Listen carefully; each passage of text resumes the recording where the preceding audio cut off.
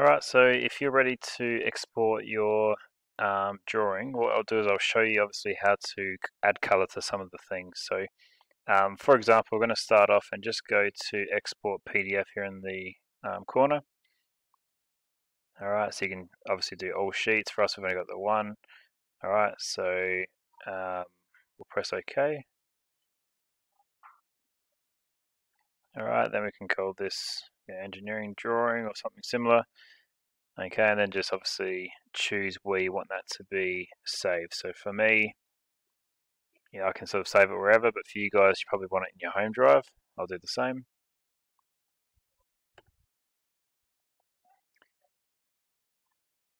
Alright, so hit save.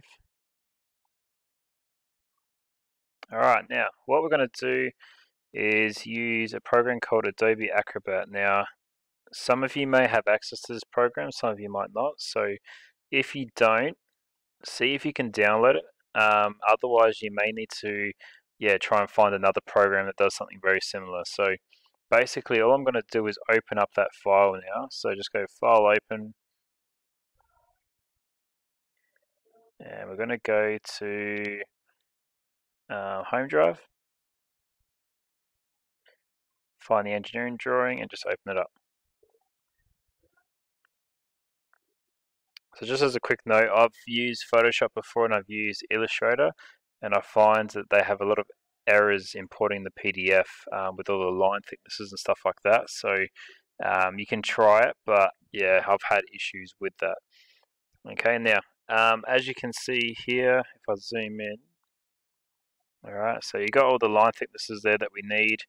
Um, they are pretty thick, so I can I do think you can edit that on um, uh, Fusion 360 if you need. Um, but otherwise, yeah, everything else is looking alright. Okay, so as an example, just for this little demo, I'm just going to show you what you can do to add a color. Now, um, I might focus on a simple one for now. We might look at these squares here in the corner. So uh, the easiest way that I've found to do this is to go to comment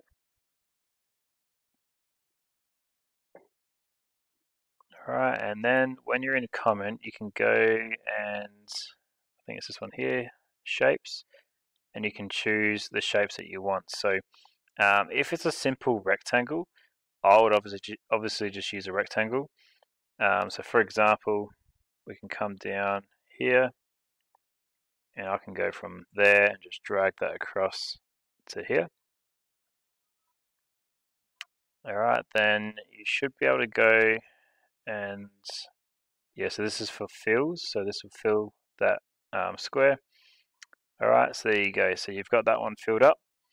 Alright now you may be able to just go control C control V. There you go so you can make copies of these. Alright and this one here I might change to blue for example.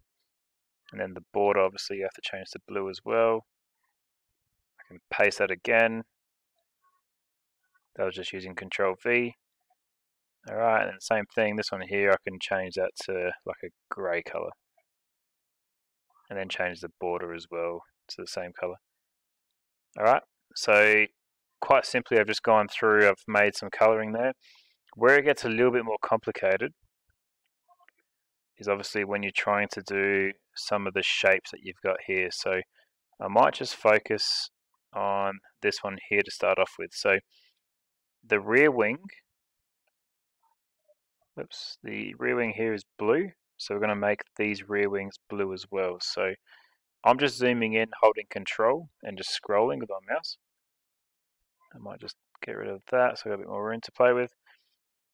Just go up here to the shapes, and you're going to use polygon. Alright, now what we could do is we can even change the color before we start doing it. So I can go fill and the border to blue as well. I'm going to start here to here. Alright, I'm just clicking once. And then there's a square here, alright, and you need to click inside of that square to link it all back up. Okay, so you can see that now that's colored in that area for us. Where this can be a bit of an issue is like obviously there's a curve there and I adjusted a straight line so it's not a perfect tool to use, but in terms of just for coloring to show the judges that this is where the rear wing is, um, it is good enough. So um, yeah, if there's other ways that you could do it, even like a paint bucket sort of fill, at least that would fill that whole area in, that could be easier. Um, but yeah, I've found that this process here does tend to work okay. Alright, so yeah, once again, we might choose another area. Just going to zoom out. Alright, so for example, if I did this one here, I would just do a rectangle where that body is. So starting from that line there, all the way across. So, know, for this one here, once again, just do a rectangle, that'll be easier. Alright, and this would be blue as well.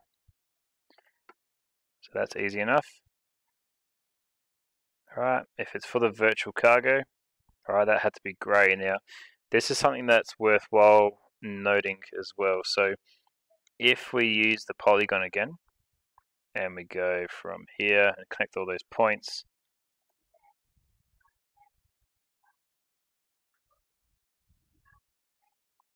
Alright, back to the start. Now, as we know, these were grey. Alright, now, because it's 100% opacity, you can't see any of the lines and stuff that are underneath it. So if I just click off for a sec, alright, and I'll zoom out. Alright, so at the moment it's covering absolutely everything. So in terms of the engineering side of things, it's not good because obviously, you know, there might be some key information under there about the shape of the car or you know this slot underneath the car all those dashed lines going across but you've completely just covered that so when we click on this and we go back to this section here we can change the opacity so you know obviously the more I do it the more stuff you can see so you know you might look at doing like I think 40% is reasonable that looks still pretty good Alright, so what I would do is then do 40% to all the others as well. Alright, even including this one here, because you want everything to match exactly the same. So we could bring that down to 40%. Alright, so then that's the same color as that. Alright, now here's the other thing. Alright, so let's say you've gone ahead, actually you know what, we'll do one of the red ones as well. Alright, so an interesting sort of shape like this. Um, there's a couple ways you could do that. The one that sort of springs to mind for me is you could look at doing like an oval. Alright, so I could fill in that oval. Make another one here.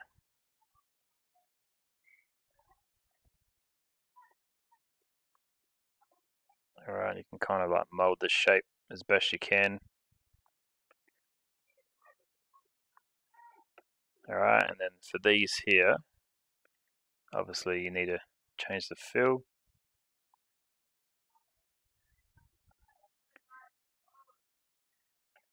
Alright, and then, yeah, I would probably just finish that off with a polygon shape as well. So, yeah, as best as, whoops, try that again.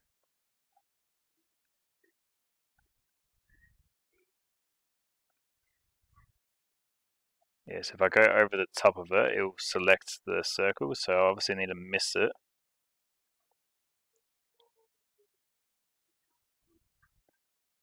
Yeah, we can just come straight across like that for now, come back here.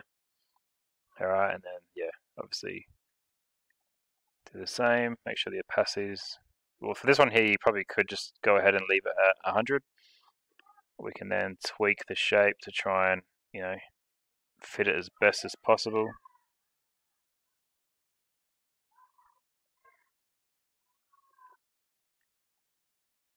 Alright, just trying to make those lines reasonably straight. Alright, so that there doesn't look too bad. So, alright, there's things like that that you can do just to sort of um, make the shapes that you need. Alright, let me just zoom out. Alright, so yeah, let's say, for example, you had all the red done for the front wings, even here and not there you wouldn't need to, but you got the blue as well for the rear wings. You've colored your um, all of your uh, virtual cargoes. Alright, the issue we've had before is when you go to export this file, it doesn't include the coloring because these are just comments. Now, the way that we've overcome this problem in the past is we've actually exported this as a PNG file, all right, and then um, some printing companies may need it in PDF, so then you can just convert that file back to PDF. So I'll just show you, if we just go, well, first of all, we'll just do a normal save, just make sure we don't lose anything. All right, then if you go File,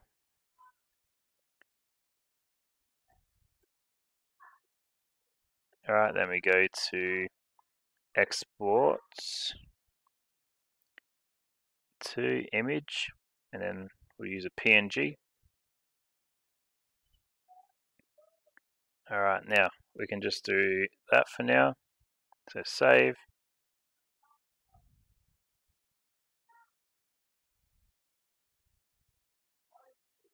All right, so when I go and find that file,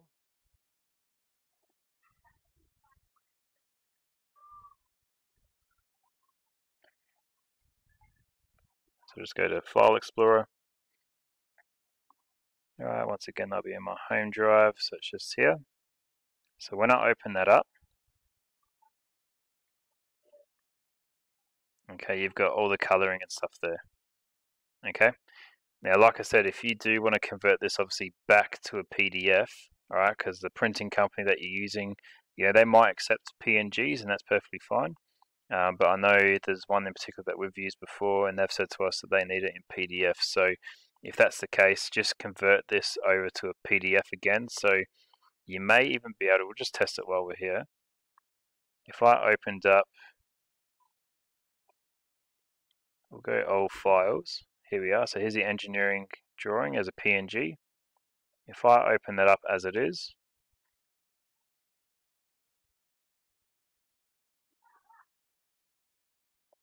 So I should get another tab. Here we go. Alright, so this is the PNG version. And if I now export this again,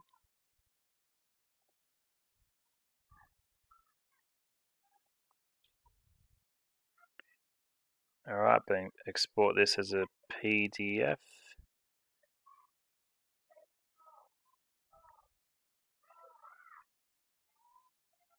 Actually, even if I just save it normally, I reckon it might already be a PDF for us. If I just go save as, they'll be able to tell me. Alright, so here we go, convert to, so I wonder...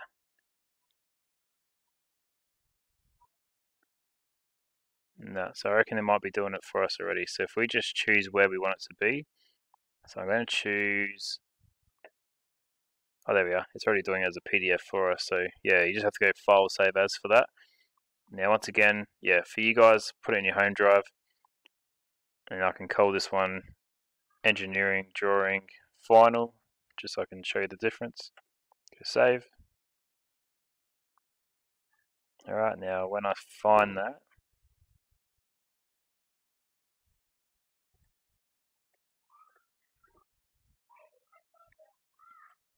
in my home drive, there's the final version. Okay, so if I open that up, obviously it will, yeah, show us exactly what we've, we've been working on. All right, so just keep that in mind. Um, so obviously if yeah you're doing it in this way, using Adobe Acrobat, um, that's what you're going to have to do to just show the coloring for your engineering drawing.